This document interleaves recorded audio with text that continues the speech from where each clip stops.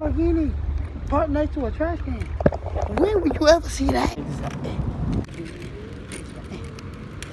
Oh yeah, oh yeah. You know how now, dude. Yeah, yeah.